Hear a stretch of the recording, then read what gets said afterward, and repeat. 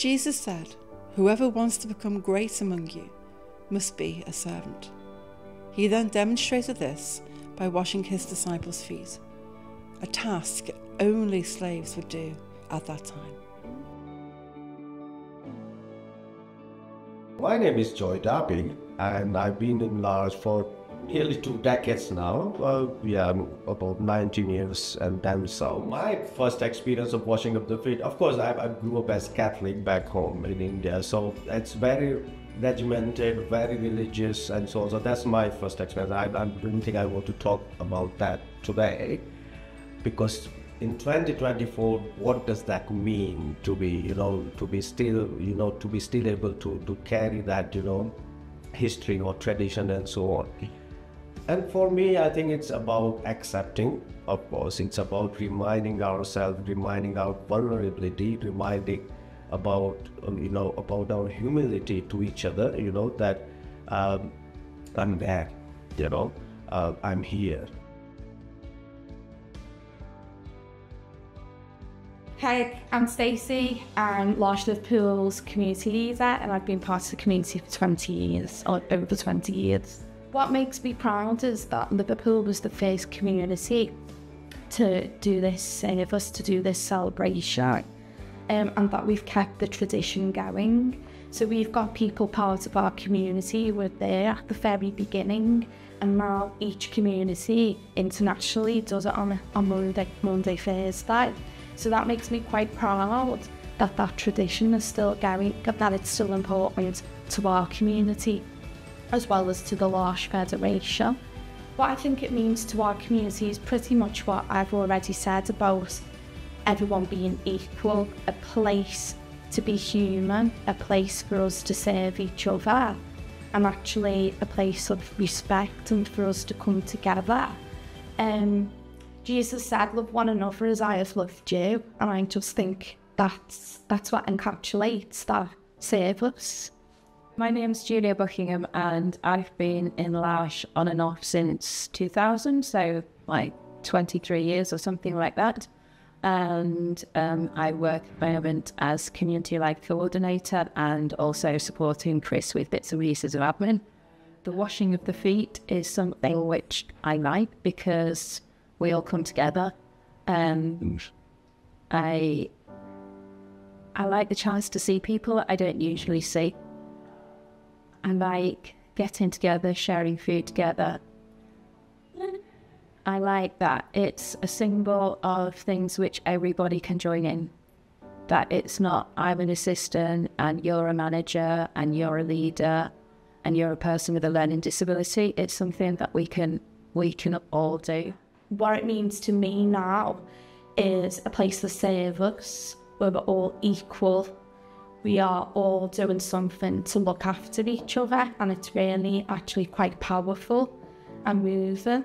And what I notice is that actually our community is really busy, hustle and bustle, very noisy. But at that time, there's time of peace, a time of respect, a time of neutrality. There's no hierarchy. It's we're members, and that's what I love about it.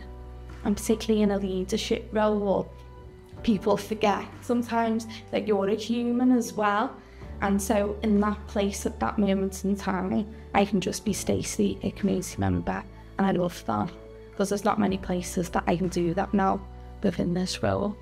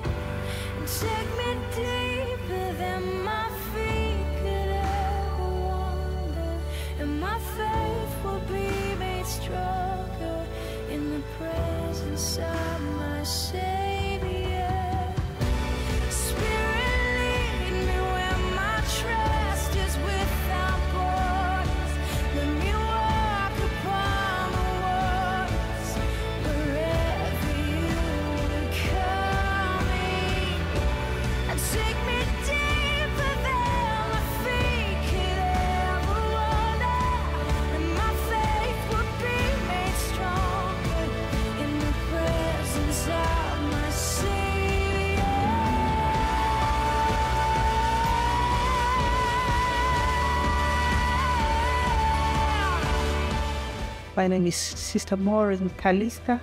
Okay. I've been in L'Arche for the past two years, personally the washing of the feet, just like as I am a Christian from the Christian background now, for the not a part of it from the in injunction I would say for the practice that was performed in the Bible for us by Jesus to wash one another's feet. Um, it's a sign of humility for me and it's also a sign of loyalty because it's not just easy to wash anybody's feet and just washing the feet is not just not just practically washing the feet.